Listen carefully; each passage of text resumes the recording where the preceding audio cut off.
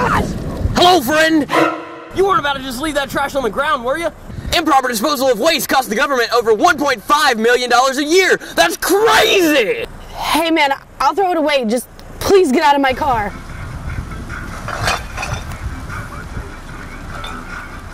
Okay, see you later, friend.